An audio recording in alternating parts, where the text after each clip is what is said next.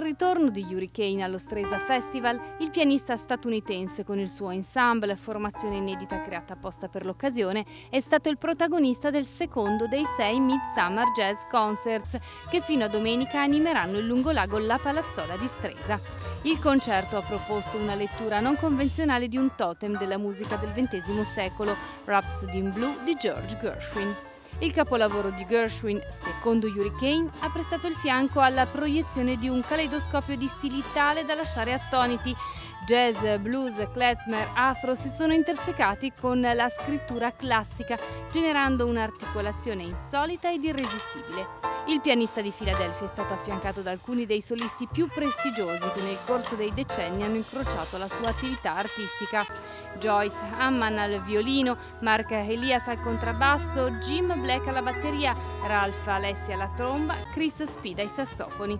Le voci erano quelle di Theo Blackman e Barbara Walker. You say either, you say either, and you say neither.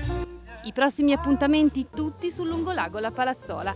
Stasera alle 21 ci saranno Ron Carter e il suo Foresight con un contributo al grande trombettista americano Miles Davis.